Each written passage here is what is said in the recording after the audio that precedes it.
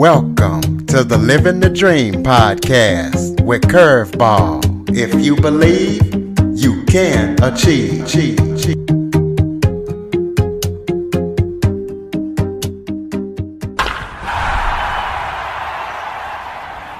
Welcome to Living the Dream with Curveball, a podcast where I interview guests that teach, motivate, and inspire you to stop at nothing to fulfill your dream. Today, I am joined by a special guest. She is the one and only Samantha Lane. At 29 years of age, after years of being a workaholic, she had her chest cut open. So she decided to change her habits. She created some time management tools, and she also is now helping individuals and businesses to spend their time being productive in life and productive at work. Samantha, thank you so much for joining me today. Thank you so much for having me. Why don't you start off by giving everybody a little bit of background about yourself? Sure. Um, as you mentioned, I used to be a workaholic. And, uh, you know, I'm sure a lot of people can relate to being ambitious and wanting to reach goals. So I kind of lived this life of work first and life second.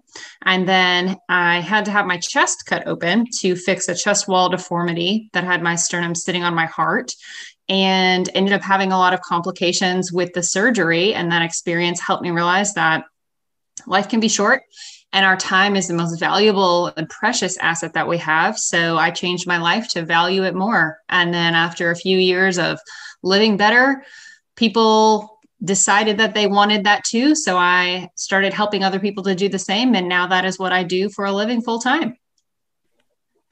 So, what made you have the attitude work first, life second in the first place? You know, that's a good question. I think for me personally, I think it was a combination of just sort of my own personal perspective on life. And then just sort of, I think, what society encourages us to do. I think for a lot of us, we're kind of taught that we are defined by what we do. You know, think about it when we're kids, people ask us, What do you want to be when you grow up? And they're not looking for us to say happy or fulfilled. They're looking for us to say a teacher, a doctor. So I think there's a little bit of that. And, you know, you go to a party and someone says, Well, hi, what's your name? What do you do? We're just very defined by our jobs. And I think, unfortunately, our society really pushes us in that direction. So I think for me, it was a combination of maybe my own personal validation by what I do. And then I think, too, just sort of what our country leads us to do. So, how long did it take after uh, doing your experience before you realized that you needed to make the transition? And what are some of the things you did to make that transition to what you're doing now? Yeah, so I I knew during my recovery that I needed to change my life, but I didn't really know how I needed to change that for probably a good I'd say six months after my surgery. And I started out by just creating the products that helped me. And that was really all I was planning to do was solve my own problem. And then after about a year or so of living better, I realized that other people deserved that too. And it just sort of felt selfish not to share it. And so that's sort of what sent me down the path of turning my my passion into a business. And I started out doing that just part time. And then um, in 2019, I went into it full time. Well, tell us about the products that helped you while you were recovering. So, the first is a folding piece of paper. One of the reasons why the business that I run is called Origami Day.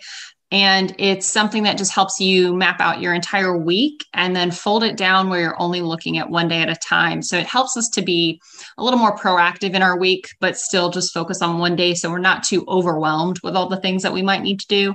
And then the other tool is a 14 month undated calendar and a notebook in one because surprisingly when i was on a hunt for the magic bullet to give me work life balance i i couldn't find it. And i found that there are very few calendars that are that are made this way but it's really effective to sort of keep things in the same place. And and when we plan on a month view calendar we're less likely to overbook ourselves versus when we have other calendars that give us a lot of space for each day, it's not always consistent with the actual time that we have to do something. So those are the two tools that really make up the business from a product side. And then what I've also learned is people need a little bit of education and training and support. So I do a, little bit of that with people as well.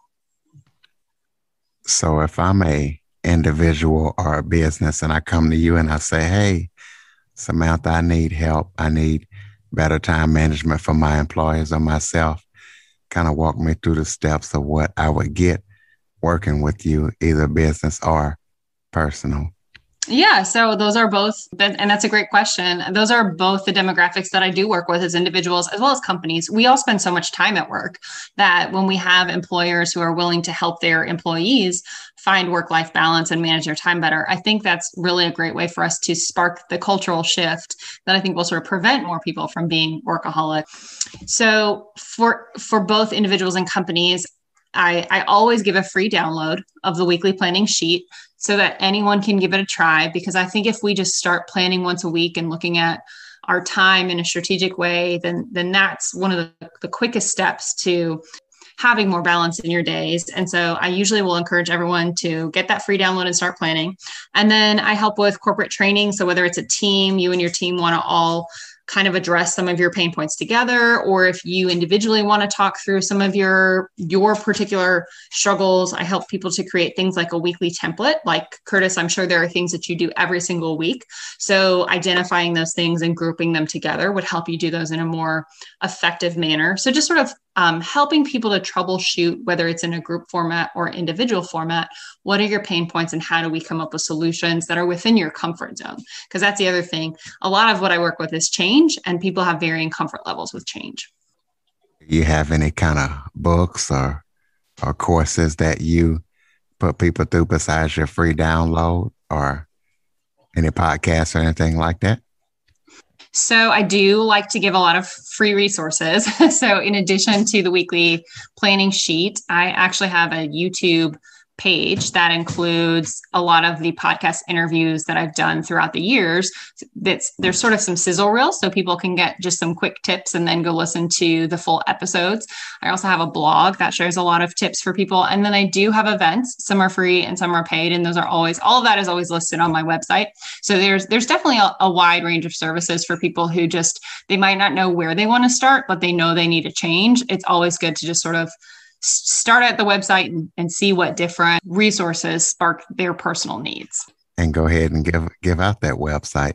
Yes, that would make sense, wouldn't it? Um, that is origamiday.com, and that's O R I G A M I D A Y.com.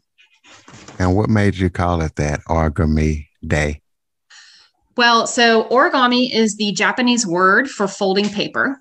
And where the first product that I created was a folding piece of paper. Um, that that was a big part of it. And I also grew up in a Japanese American home, and a big part of the Japanese culture is paying respect to your ancestors and being thankful for their hand in your life.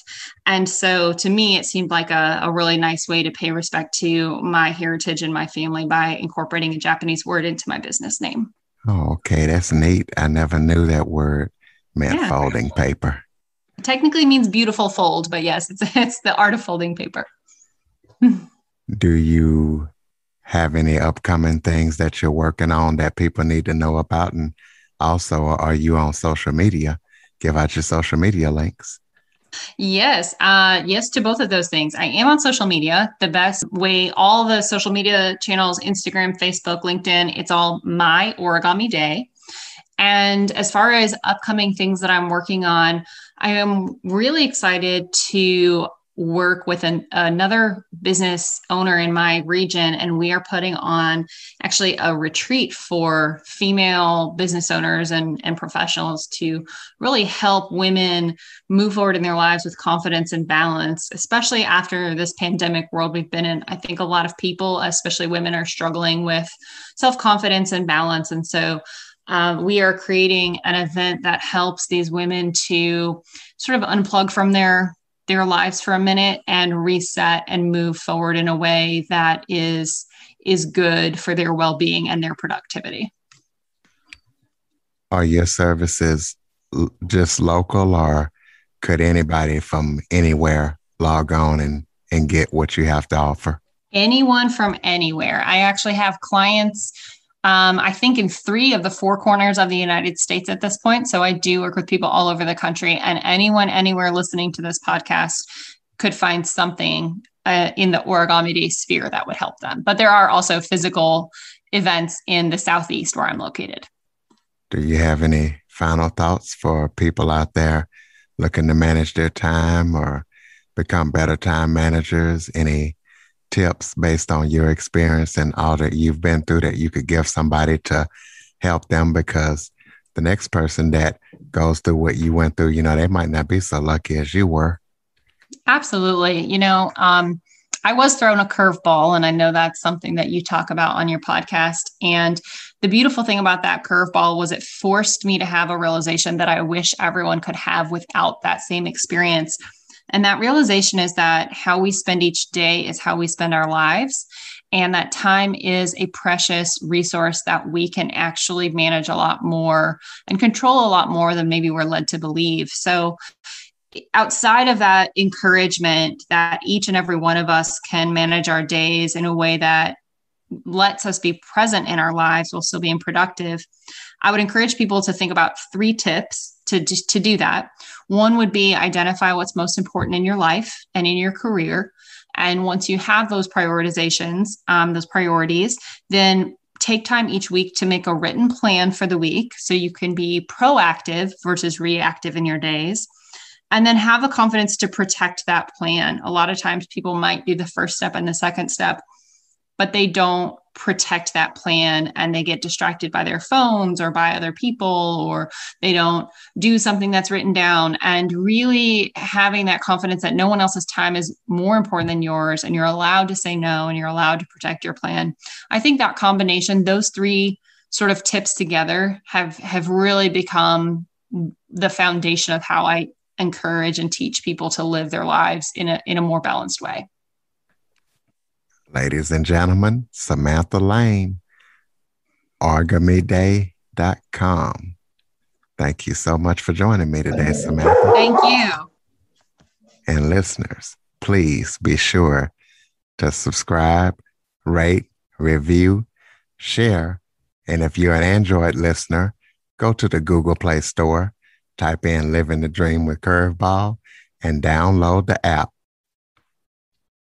For more information on the Living the Dream podcast, visit www.djcurveball.com. Until next time, stay focused on living the dream.